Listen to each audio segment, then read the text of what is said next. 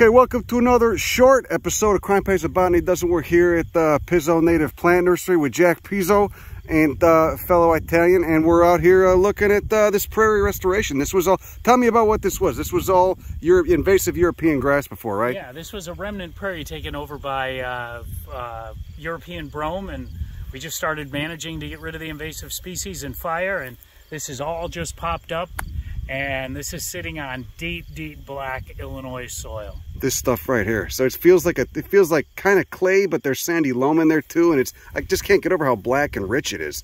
I mean, that's all that nutrients, huh? And it's all it's all that carbon, and it's all filled with fungi and bacteria. So even if even if you tried to compress it, you can't compress it because it's so well structured. Tell us about the crayfish real quick. You got so prairie here, crayfish. So this right here, in there, there's prairie crayfish in these little holes, and they come up at night and feed on the prairie. so their water table's pretty close, yeah, I take it, yeah, huh? Yeah, exactly. So, and there's thousands of them here. Um, and you can really see the, the thing that you see the prime mover of the soil out here are the ants. Because when we burn this, you can see thousands of ant mounds out here. How often you guys burn this? Um, we burn this uh, some part of the property every year. What about, say, a homeowner's got a prairie garden, but they can't burn, they got stiffs as Just neighbors? do a, do a, a, cleanup. Cut it down, rake it off, mm. and expose that soil. Just be that disturbance that enables the diversity. It's, it, it's more getting the sunlight to the ground so that the ground can warm up, and that's what helps the native plants. You know, you, I know in a lot of small places you can't burn, so just rake it away and uh, put it in your compost pile and shake the seeds in the back into the, the planting. But you want to keep some of the, I mean, obviously the benefit here is these things, at least in the fall season, these are native, they're, they're native growing bird feeders pretty much, right? Yeah, oh yeah. So all the uh, seeds on the sunflowers and uh, the finches on the, the uh, prairie dock, they'll feed them all winter long. Yeah, look at all the Agalinis. How many Illinois prairies you see with the Agalinis in it? Not very many. Get your oligoneurons, your silphium, echinaceas, really cool,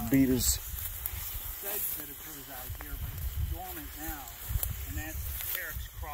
Oh, look at that. Look at that lobelia. Ah!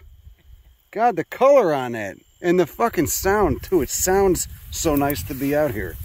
New England aster, Symphyotrichum novae-angliae. And this solidago is altissimum, you said? Yeah, this is, there's altissimum and canadensis. Joe Pizzo from Pizzo Native Plant Wholesale Nursery, everybody. There you go. Jack. Jack. Uh, Jack, Joe. You know what I mean. Pizzo's what, the last name's what counts anyway. It's Italian. Look at that. Knotweed, our native knotweed. Polygonaceae buckwheat family. Polygonum. Uh, what was it again? Coccineum. Coccineum. Yeah, there you go. Because it's because it's red. Right, but most of what you see, most of the most of the ones you're going to see are going to be the invasive ones. The Japanese knotweed. There we got our native. Let's... Look at that. Look at that. Dog bane beetles. It's a native. Look at it. It's like a native. Looks like a damn scarab. Looks, looks like, like Peter Max. Look at that. The artist from the 70s. painted, right? On the opossum, the native dog bane. Those opposite leaves. That's wild. I'm so I'm so used to seeing, you know, invasive insects in Illinois. It's so nice to see it, a native. So if you look at the way the land lays and it starts going down here into the wetland, the start up here with the uh, yellow flowering, uh, the big two sunflower, then you get into the knotweed and it's kind of flat. Then it gets lower and it goes out into the burreed and where it's deepest you see the bulrushes. So you can tell how wet an area is just by looking at the vegetation. Prairie hydrology. Yep. Okay, so it's important to keep in mind 15,000 years ago we'd be under, you know, a mile or more of ice right there, that little mound, which is, you know, that's some that's some high topography. What county we in? DuPage? DeKalb. DeKalb, yeah, right, there you go. Boy, I'm really fucking up there. DeKalb County, for DeKalb County, that's a mountain. And so what we're looking at is all the material that fell through a hole in the glacier as it was slowly melting. It's called the kame. So all the, all, all the detritus and stuff that the glacier had, had brought with it was slowly uh, being washed away with the meltwater through a little hole and ended up...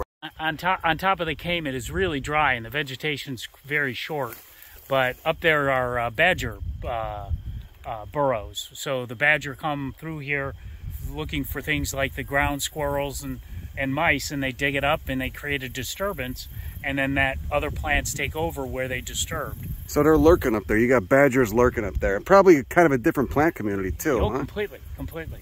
Yeah, there's Antennaria neglecta, uh, the pussy toes, the really short one. You, you'll see it. It'll if it gets established really well, it outcompetes everything else.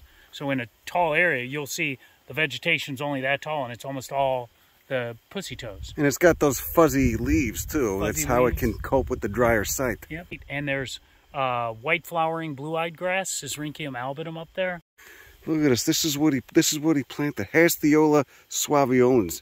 Jack sowed all the seedless. It's a senecioid. See those calyculi at the, the base of that involucre?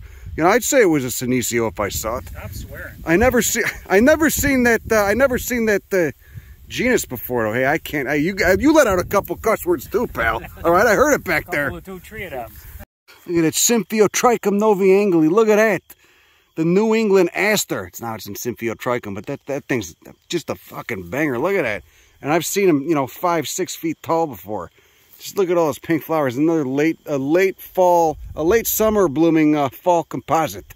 Look at all that corn. I was always trying to figure out as a kid, why do they grow so much corn? Who the fuck is eating all this corn? Then I realize it's not for people. It's for it's for fucking cows. That. There you go. The, yeah, I opened it. Again. the death cult of corn. There you go. See that? Just we're just in an ocean of corn. All to feed pigs and cows.